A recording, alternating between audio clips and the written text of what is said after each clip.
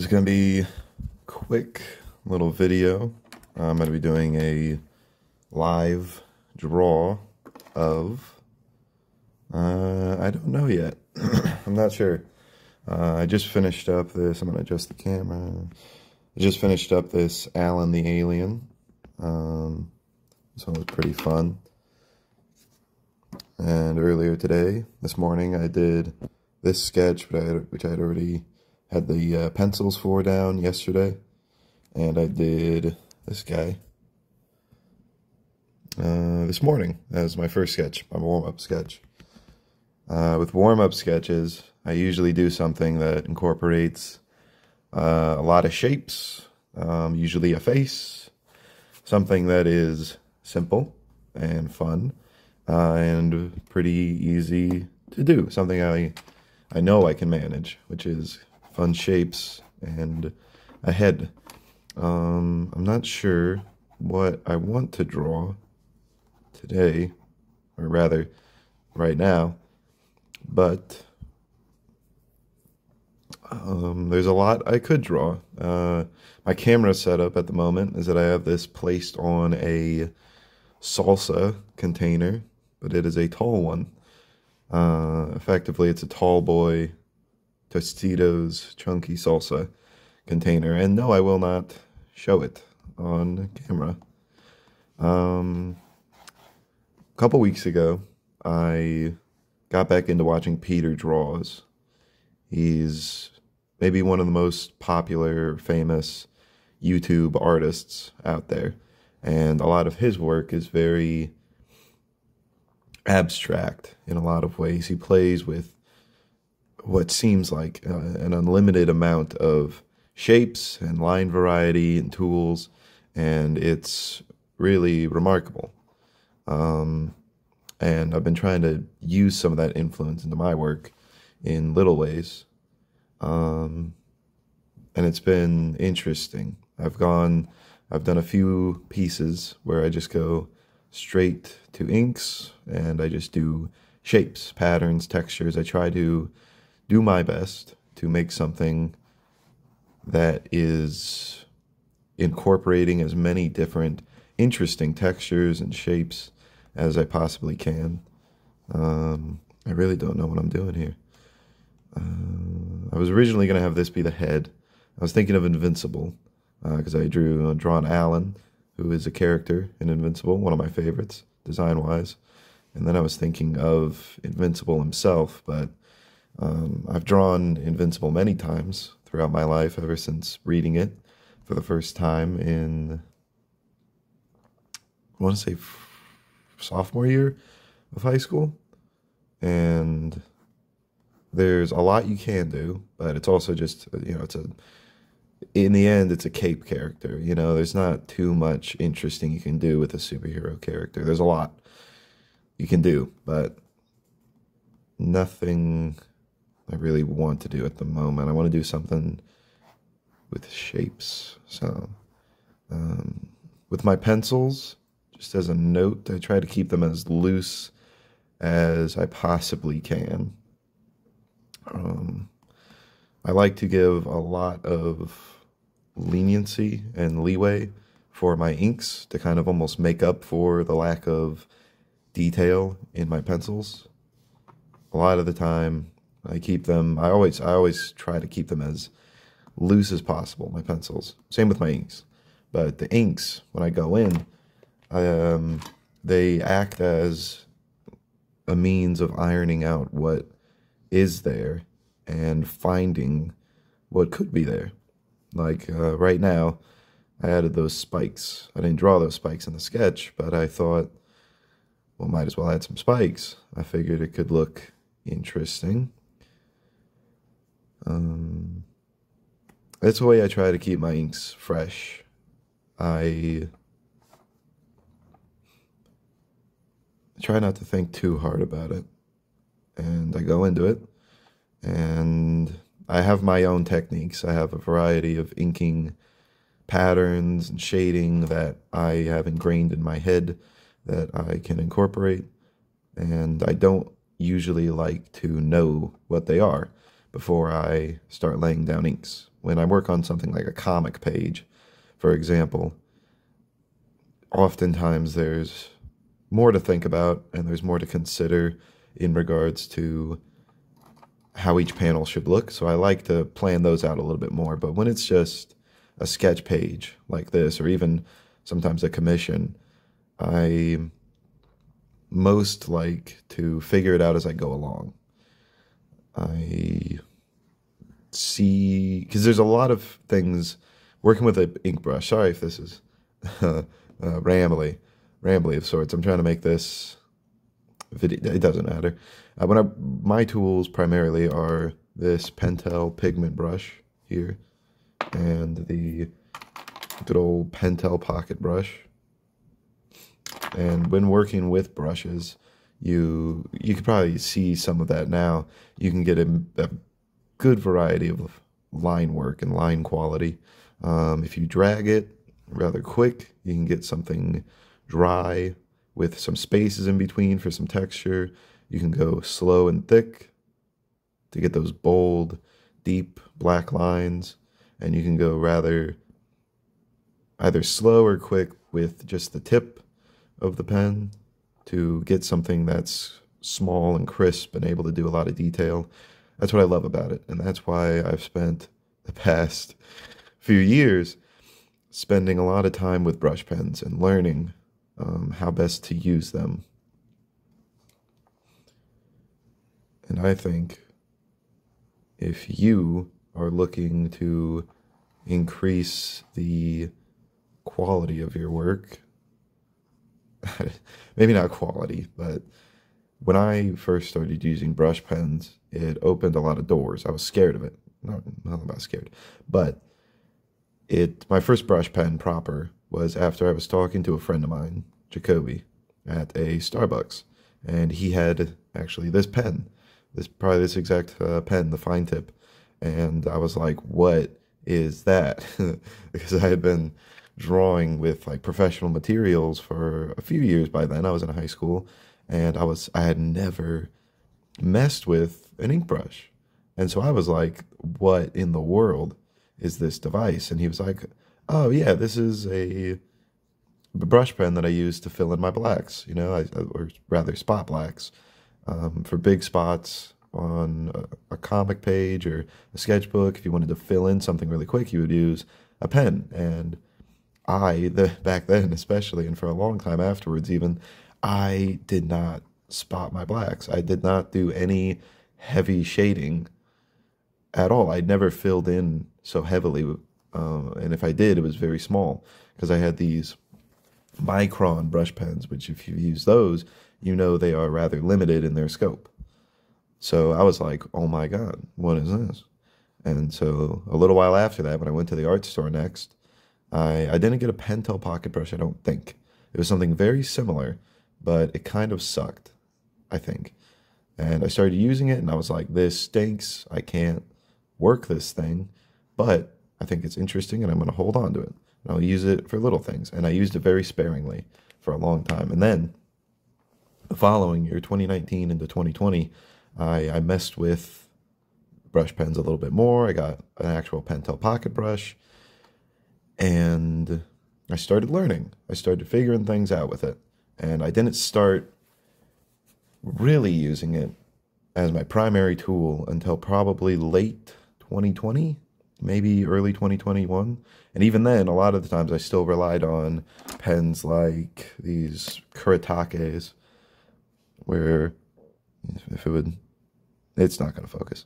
Um, it's also a brush pen, but it's a not fibrous, but it has a rather hard tip, which is still soft, um, like these zebra brush pens as well. Very good, very reliable, but they do not have the amount of variety and capability as brush pens like these pigment brushes or the Pentel pocket brush. And so I've, I've said it, I've said it a number of times, but learning a brush pen saved my life. Um, not in any literal sense, there's no example of that. But if I hadn't began to learn these and really figure them out, I I don't know. I think there's something extremely potent with what these are able to accomplish compared to any other type of pen. Like uh, before I started learning these, and even as I was learning them, I was still relying much on microns and those very thin pens. And there's a lot you can do with those. There's a lot you can do with those depending on your style. But I was not good with it. I was also just not good in general at that point. Uh, this was high school into after high school. I was very much so comfortable with microns because you could predict exactly what they were going to do. Brush pens, you could not predict. You can never predict. You can put a shit in the right direction, but if you mess up with a brush pen, that's like, oh, was that the brush pen or was that me? Because they do go bad over time. Uh, the tips get frayed. You lose some of that variety that you can get, and that's when you change. That's when you change the brushes. You get a new one, but they go for a long time, and you can do a lot with them, as long as you got those refills. Okay, I think I have talked about brush pens long enough. Um, this page is when I work on a sketchbook page. I, I've gotten a lot of not a lot of questions, God forbid, uh, people don't really talk to me too much, but um, I, I, I like to think that I can fill up a sketchbook in a good amount of time. Uh, I have this one book that I've been posting on Twitter the past couple days uh, that I've been working on the past week, and I was able to fill it up in about six days. It was a 52 page book. I only used one side of the paper. Usually I use both. Um, Typically, I do that with the pa- paper that doesn't bleed over, like these moleskins. Those these these never bleed. Um, but that book that I was using does bleed, so I was like, you know what? It's against my nature. I don't like just using one side. I don't know why I don't, but I really don't.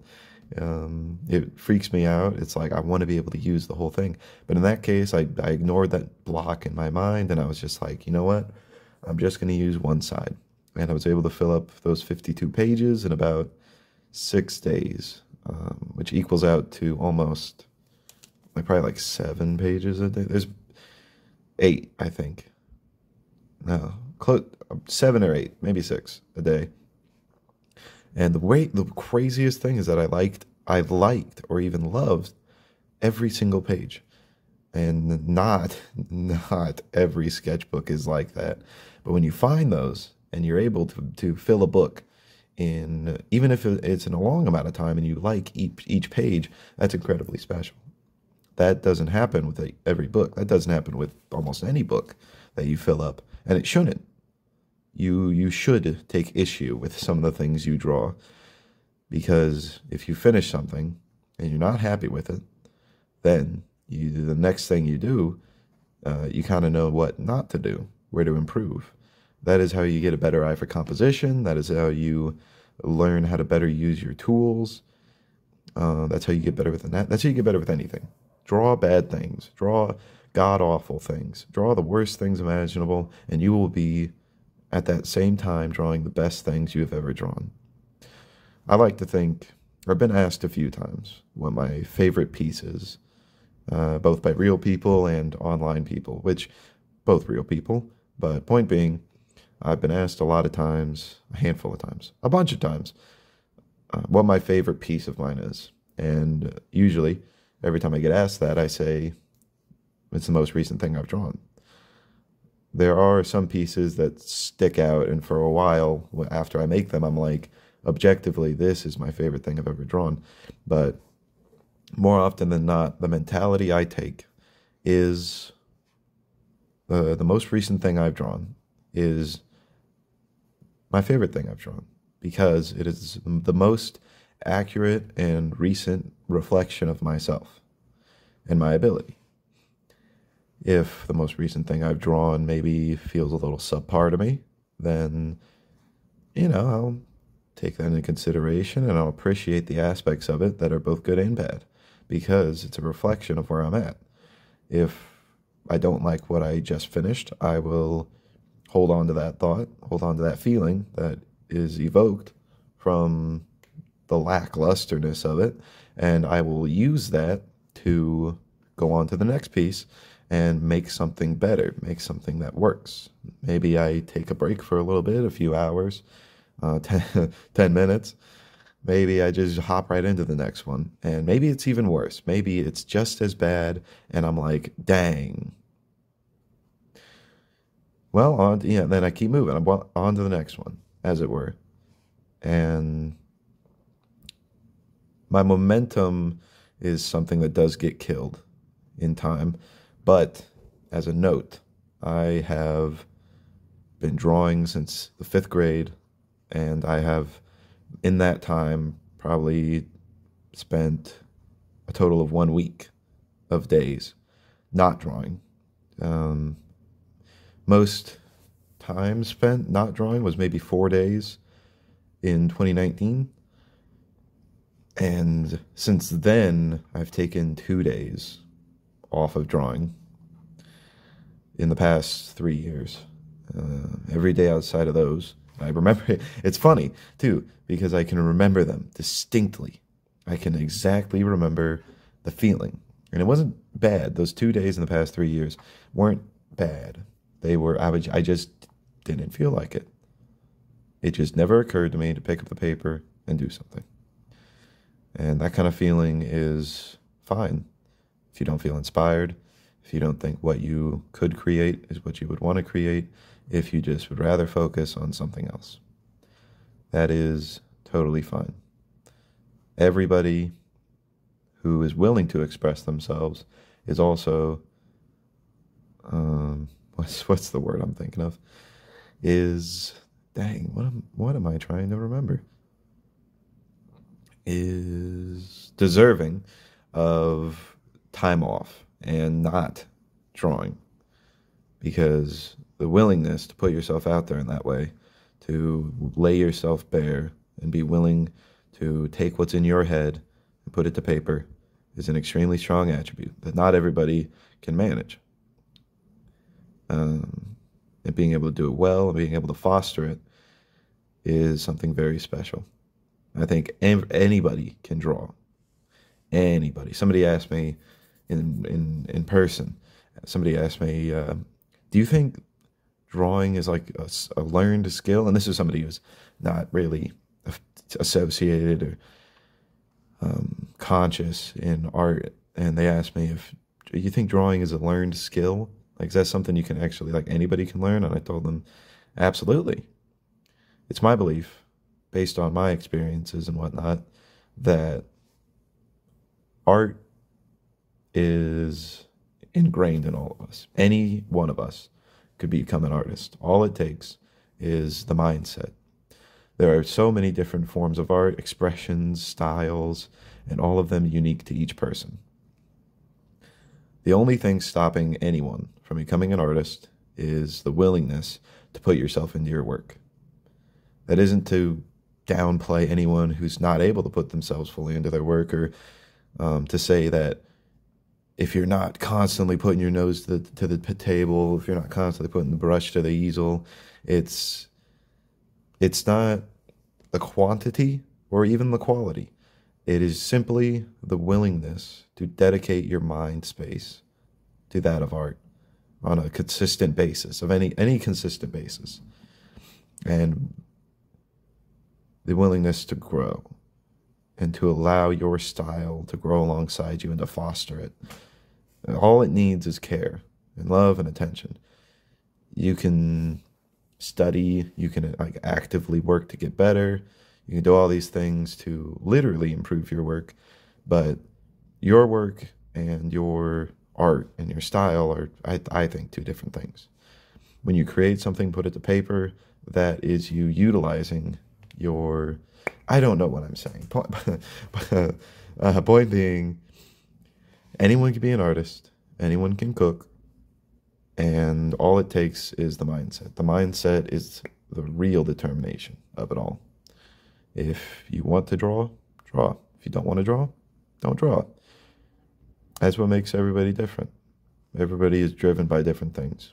If I didn't have art in my life, even if at times my art is very simple, you know, simple, simple little means of what it is. Like when I draw violence or superheroes or very straightforward comics or just a meme picture, it's like in my head, I'm like, well, what's what's what's what's really what am I saying here? What's really like? Am, am I that serious of an artist? Like, am I really? What am I doing? Like, what?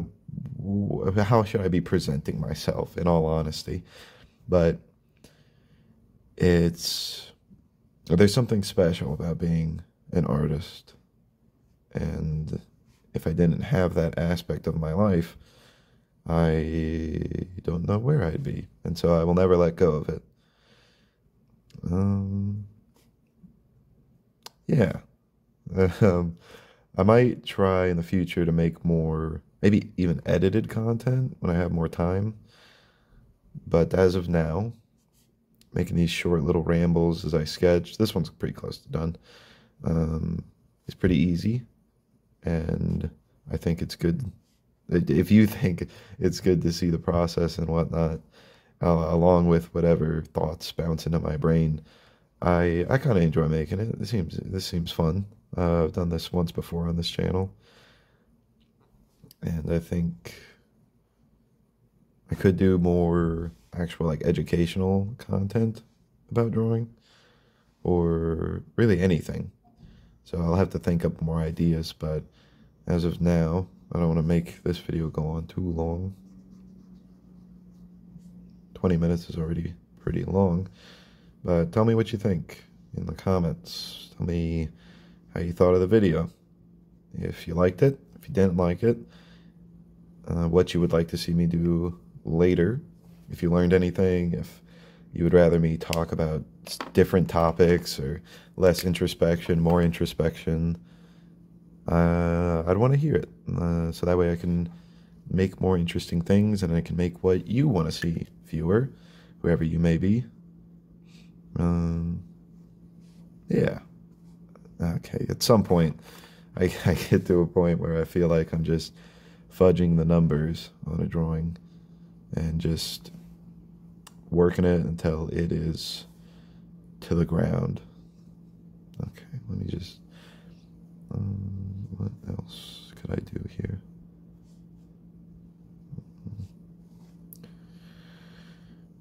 Yeah, it's it's with these heavier detailed drawings it's a lot more to consider compositionally uh, because recently i've been very focused on composition the past year or so i've been very much uh, putting my nose to the grindstone in regards to composition and making my things more readable because that's always been my issue the past I don't know six years ever since like ever since I started showing my work around at shows it was always readability, especially in my comics. And so recently, ever since 2020, when I went to C2E2, and the main note I got from all the artists I showed my work to was readability and eliminating what was unnecessary. It opened my eyes, and I really focused on learning all that. And in the past year or so, I think I've made massive steps towards that. It's been great. But I think this piece is almost done. Let me add one more thing before I lose my mind. Usually I would put text over this, I think, but I don't think I will. Because I did not put it in already. And thus I can't. Okay, okay, I said that was it. But let me just. But yeah, uh, this will be the end of the video. 25 minutes seems still pretty long, but I hope you enjoyed listening to me speak, here watching me draw.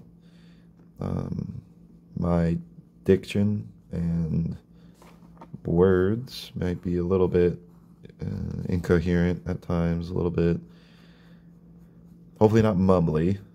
I like to think I can enunciate pretty decent, but there's some filler words and whatnot. So if you made it this far, honestly, if you didn't skip out at like the five minute mark, ten minute mark, but good up on you. But here's the piece. No name for it. But I think it was pretty fun, and I hope you enjoyed watching me sketch it. Thank you.